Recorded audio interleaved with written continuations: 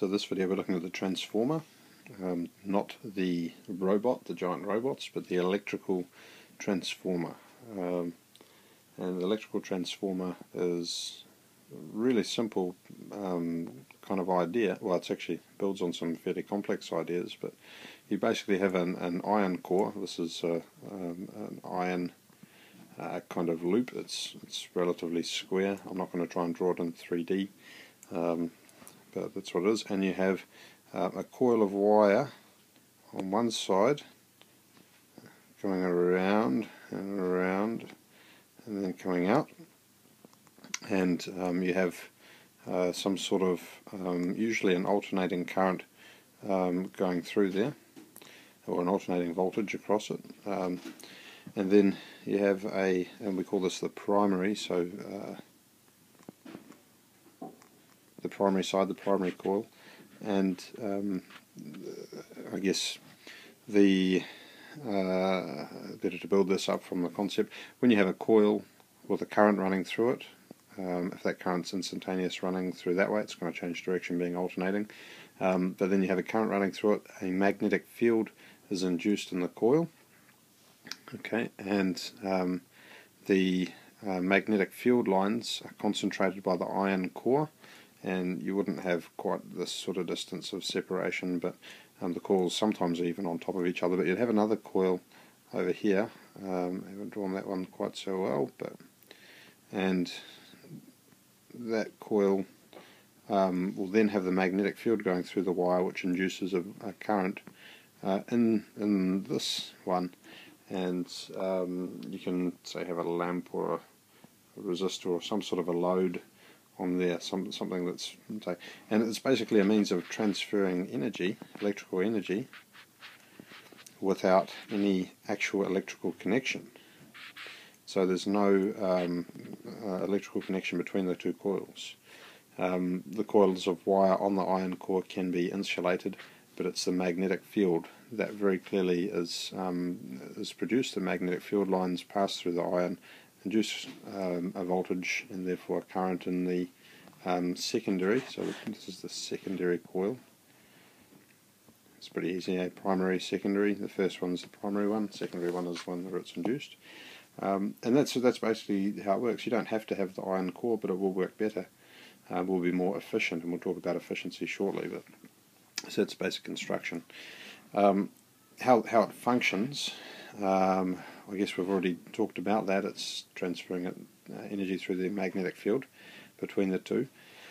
Um, but there are different uses for them uh, in terms of their function. You can have um, a transformer that steps up the voltage, so whatever your primary voltage here is, you can make your secondary voltage here um, higher if you want. So you can have your voltage increase, you can have your voltage decrease, so your secondary voltage would be lower than your primary, or you can have what's called an isolating transformer where the voltage is exactly the same but you just get this electrical isolation between the two bits so there's no um, there's no actual current flow between there.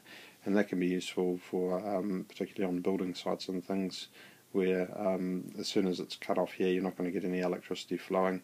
Um, whereas if you cut here you're connected to mains it's very easy to earth and do problem uh, do cause problems and things but um, now, uh, how, how do you step it up? How do you step it down? And how do you isolate? Um, that all revolves around the number of coils. So there's a number of coils in the primary and a number of coils in the secondary. And um, this is, you can probably work this out. I'm going to keep it relatively brief. But if your, um, if your primary uh, to secondary, if your secondary is uh, smaller number of coils smaller number than their primary. That's a step down the voltage. So we're talking about stepping the voltage down. If your primary is uh, is greater, wait a minute, how do we do that? I've, I've done this back to front. Your, your secondary is, is greater in that one, so it's a step up. Um, and in this one, your secondary is lower, so that's a step down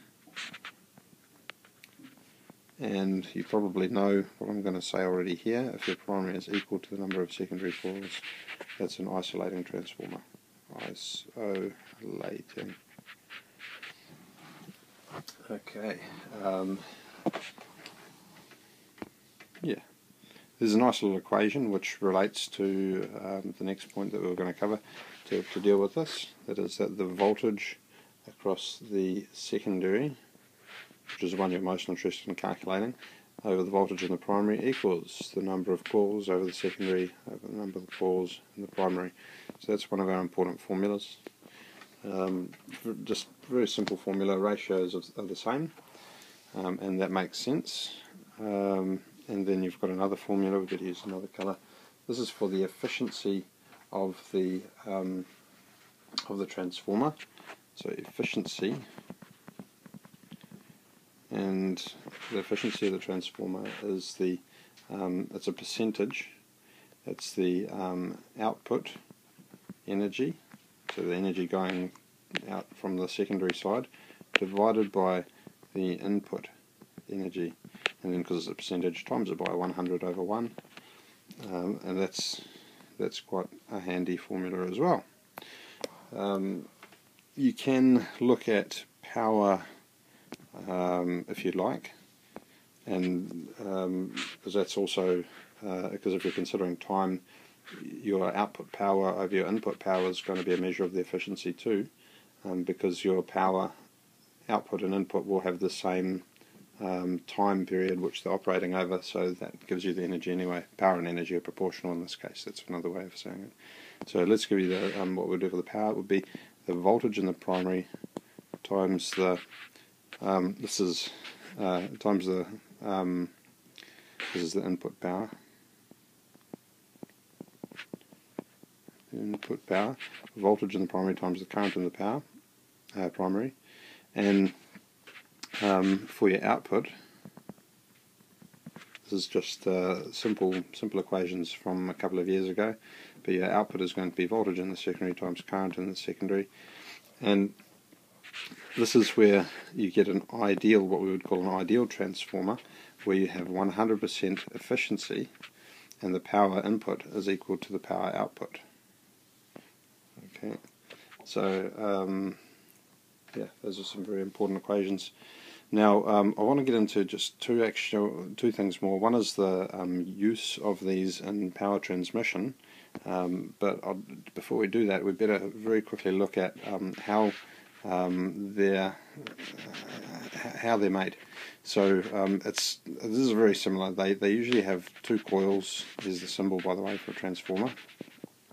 The coils are usually quite close together, sometimes they're on top of each other, so you could have winding here and a winding here, and that's going to be the most efficient way to, to share those magnetic field lines.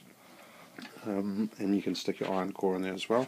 If you have an iron core in the symbol, they'll draw a line or two usually like that. Um, and that's that's your electrical symbol for a, in a circuit for a transformer. But in the real, the real world, they're not usually um, that efficient.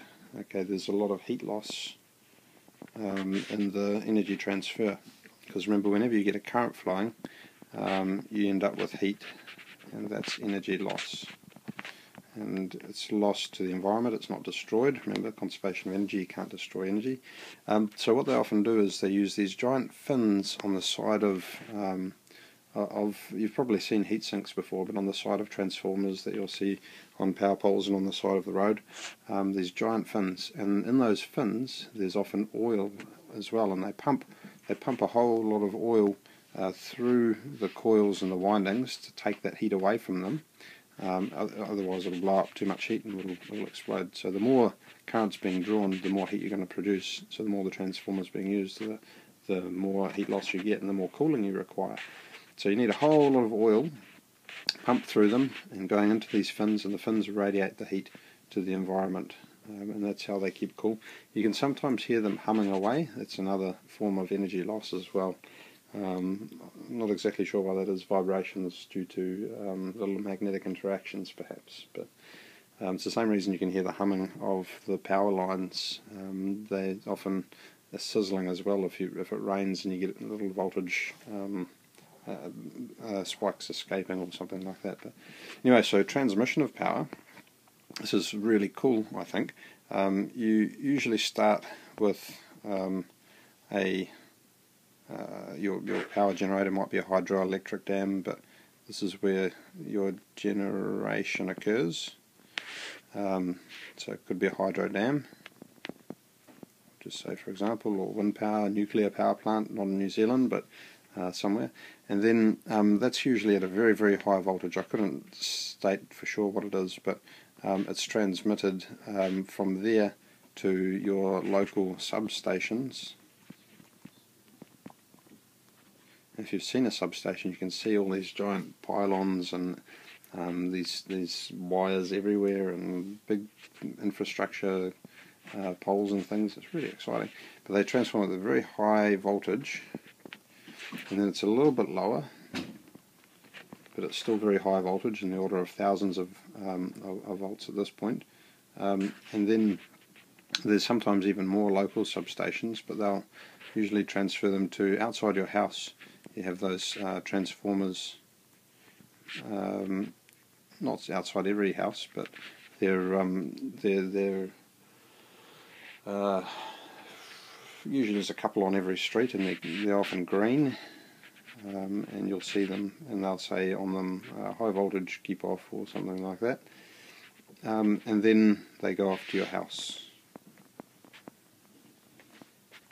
And so they start off at very high voltage, and the voltage gets progressively lower. Um, and it's an alternating current, it's going back and forward um, at each stage of these. And they'll have transformers at each stage. So they have transformer here, and then they've got the transformer here at each stage to, to bring the voltage down. So usually you bring the voltage down, bring the voltage down, um, and in your house, you, most of your appliances, electrical appliances, operate on about 5 volts DC. Okay, DC is not AC that's produced um, and AC that's transmitted. Um, but uh, the the DC is just easier for modern um, electronics to work with than uh, silicon chips and all of that. Um, and uh, well, TVs and things are a little bit more, but in any case, um, it's DC, so you need to convert it from AC to DC using a rectifying circuit, and um, it's a very low voltage, so you're going to step down that voltage quite a bit at the plug at your wall. Um, now, different appliances operate at different voltages. That's why you have um, many different power adapters to work out of the socket. Um, question then is, if we use DC so much, why is it um, why is it alternating current in the power transmission? And um, the answer is really simply, it's all about that efficiency. Okay, so it's all about efficiency. Um, it turns out that the higher the current, there's there's two things here: the high, why the high voltage and why the AC, and they're both about efficiency. If you have a high current, you get a lot of heat loss. Remember, from up here, we're looking at high current and a lot of heat loss. Um, and heat loss is definitely a loss of energy, and so that's less um, energy that's getting to the house that can be sold and used properly, and all of that. Um, less global warming if you're burning hydrocarbons to um, produce energy. Um, and it's transmitted at, um, so did I say yeah, high voltage means low current, um, and it's transmitted AC also because you you can't transmit high voltage particularly effectively by DC. Alternating current seems to be the best way to do that, and the rapid shifting back and forth of alternating current at about 40 hertz New Zealand. Um, that's just seems to work out nicely, easy to work with, um, and yeah. Um, so that's pretty much it. This video's gone on way too long. We'll leave it there.